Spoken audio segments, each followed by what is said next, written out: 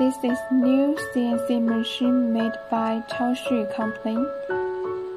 This machine with higher capacity for luggage cutting and punching.